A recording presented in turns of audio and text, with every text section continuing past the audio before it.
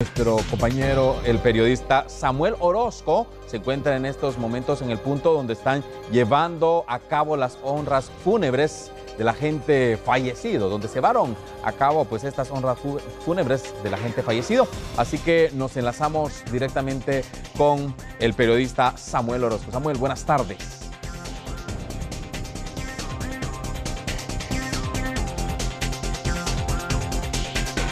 Daniel, muy buenas tardes. Ubicados en la Galería de Honor de la Dirección General de la Policía Nacional Civil, donde cada vez que un policía cae en el cumplimiento de su deber, aquí se le rinden honores.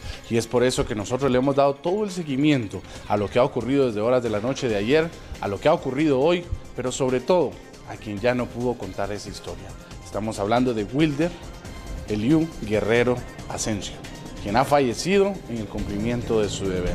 Precisamente en este momento vamos a ver los videos de las honras fúnebres que le han realizado tanto las autoridades del Ministerio de Gobernación como ministro y viceministro, como las autoridades de la Policía Nacional Civil a través del director general Neri Ramos y Ramos y los subdirectores generales. Aquí ha venido la familia de Walter Eliu Guerrero Asensio, quien eh, tenía ya algún tiempo de estar aquí en la Policía Nacional Civil. Él nació un 16 de mayo de 1990, por lo tanto él tenía 26 años. Él ingresó a la institución el 21 de octubre del año 2014, dos años y tres meses de servicio en total. Él era originario de Cantón Tuna, Jutiapa, era soltero y actualmente laboraba como sector de la comisaría 14. Aquí se le han rendido los honores y como parte de todo lo que han realizado ha venido la familia, se le ha entregado la bandera a los familiares. Escuchen ustedes esa banda que se escucha al fondo de la Policía Nacional Civil. Todo lo que se ha realizado, tomando en cuenta de que él sufrió una herida de bala en el cráneo.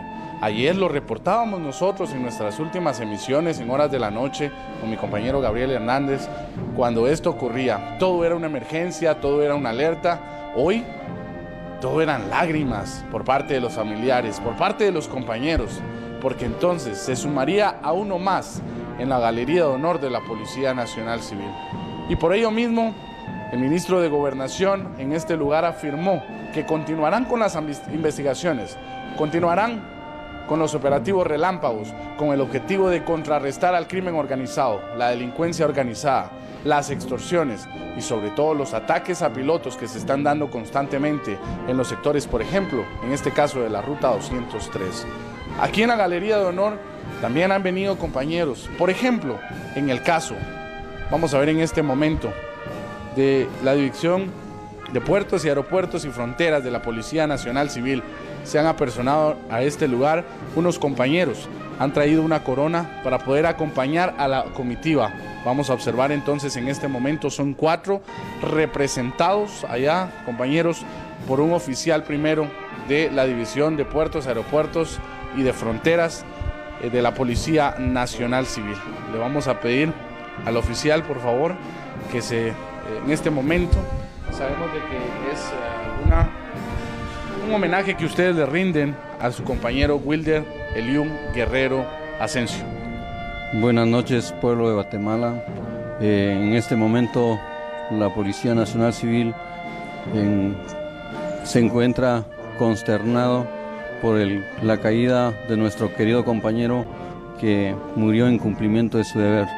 Pero tenemos la certeza y la fe y la fortaleza y la convicción de que somos capaces de enfrentar estos desafíos como policía para avanzar y garantizar la seguridad del pueblo de Guatemala que tanto lo necesita, a la familia, a los padres, madre, hermanos de nuestro compañero caído en cumplimiento de su deber, nuestro más sentido pésame de parte de la División de Puertos Aeropuertos. También nos consolidamos a garantizar que no estarán solas las familias que han quedado sin la presencia de nuestro querido compañero, igual pueblo de Guatemala.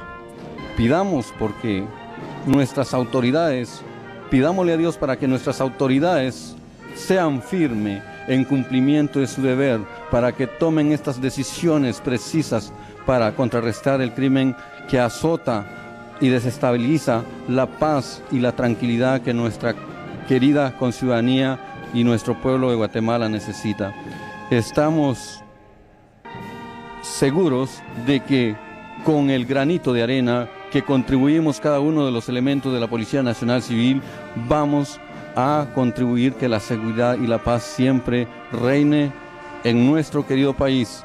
Como parte del fortalecimiento del poder civil, vamos a luchar con todas las técnicas, métodos y tácticas policiales para contrarrestar estos fenómenos que aquejan y atentan a la de nuestro país. Gadiel, allá en el estudio, cuando hablamos de un policía, hablamos de una persona con una postura, hablamos de una persona con seriedad, hablamos de una persona que pareciera que en algún momento no existe ese sentimiento de tristeza, porque siempre tiene que estar atento a cualquier situación. Pero hoy me llama la atención ver al oficial, ver a sus compañeros, que por un momento las lágrimas pues han dejado, se han dejado notar al ver a su compañero. Así es de que entonces es la corona que ellos van a entregar y también nosotros donde estamos ubicados en este momento es la Galería de Honor Gadiel. Van a ver ustedes en este momento, son placas. Esas placas tienen un significado.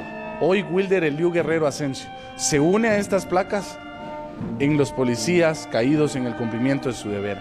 232 placas, lo que significa 232 elementos de la Policía Nacional Civil que perdieron la vida a manos de la delincuencia organizada. Así es como entonces le han dado los honores a Wilder Eliú Guerrero Asensio. En este momento vamos a observar parte de los honores. La producción nos va a hacer el eh, favor de ponerlo sobre los disparos de salva que se hacen cuando luego de pasar la lista, pero Wilder Eliú Guerrero Asensio ya no estaba. Escuchemos.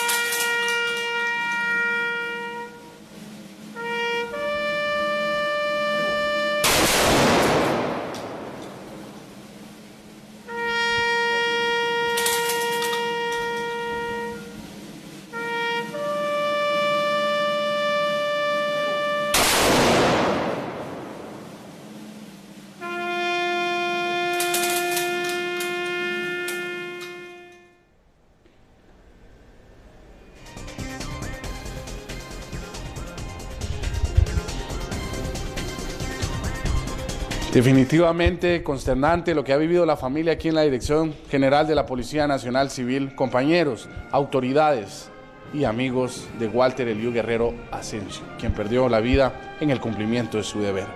Así le hemos llevado a usted detalle a detalle de lo que ha ocurrido este viernes y sábado en los atentados contra la Policía Nacional Civil. Él, ¿me escuchas?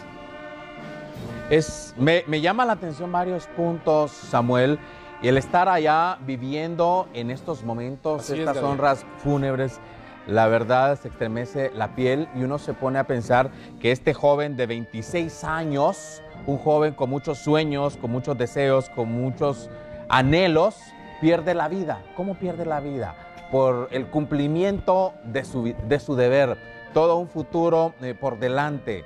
Tenía familia, padres, hermanos. ¿Has logrado conversar con ellos? ¿Has logrado platicar con, su familia, con personas cercanas a él? ¿Y te han contado algo, Samuel?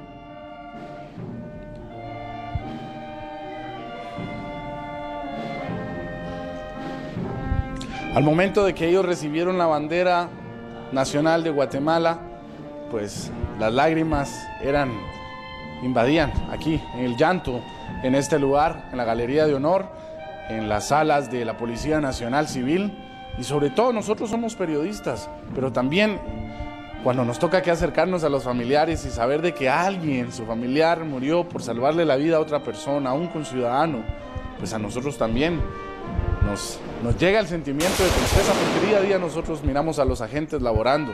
Sabemos de que hay situaciones que definitivamente están fuera de lo regular, pero hay situaciones en las que la tristeza invade. La familia solo le pedía a Dios y decía que su hijo anhelaba, anhelaba llegar al cielo, pero sirviendo a Guatemala. Eso es lo que nos ha dicho la familia. Nosotros hemos conversado, nos han pedido por algún momento pues, que las cámaras no estuvieran presentes por la misma situación de que ellos estaban bastante tristes, bastante adoloridos.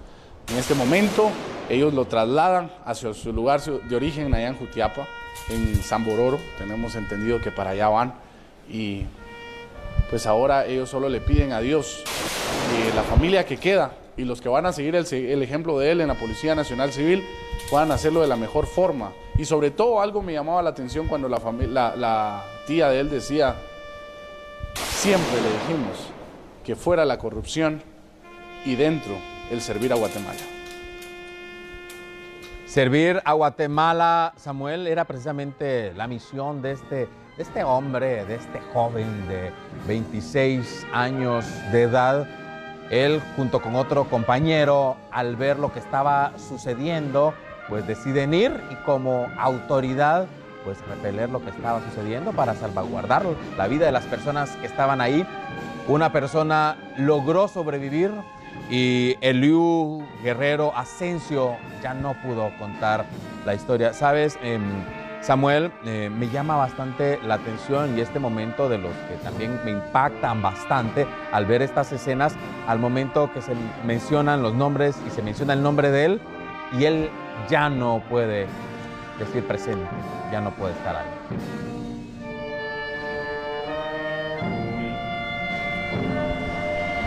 Es, es como parte del homenaje que hace la Policía Nacional Civil, se pasa lista como ellos le llaman Llega el momento que está el nombre y pues ellos dicen ausente por haber caído en el cumplimiento de su deber. Es entonces cuando empiezan las, las detonaciones, 14 tiros de salva, los cuales definitivamente es una escena bastante fuerte, pero es, y como lo dice la policía, es el último homenaje póstumo que le pueden hacer. Marvin Antonio Alvarado. Presente. Dinora Elizabeth Martínez. Esto es lo que les mencionamos cuando pasan lista. Elías Vélez, presente. Bermúdez González, presente. Alex Obdulio Mencos López. Alex Obdulio Mencos López. Ausente. Caído. En cumplimiento de su deber.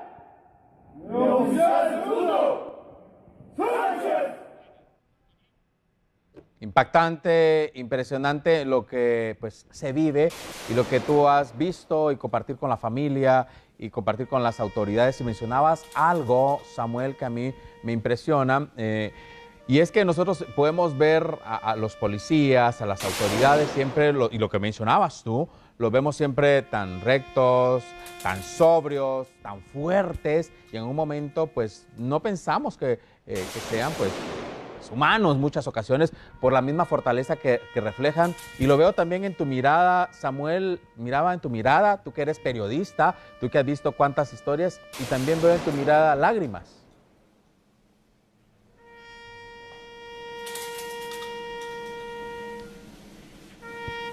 Sí, definitivamente es algo, algo impresionante.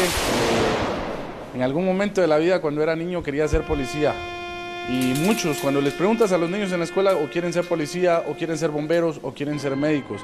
Pero hoy viendo la realidad de lo que ocurre, y quiero aprovechar este momento también, Gadiel, aprovechando que tengo aquí al oficial. Oficial, hoy no se lo pregunto como representante de Ipafrón, de Ipafrón en este momento, sino como policía. Cuando usted ingresó a las filas de la policía, ¿sabía que podía entregar su vida o sabe que puede entregar su vida un día por los demás. Así es, el, el desafío antes de ser policía es un reto para cada componente de la policía.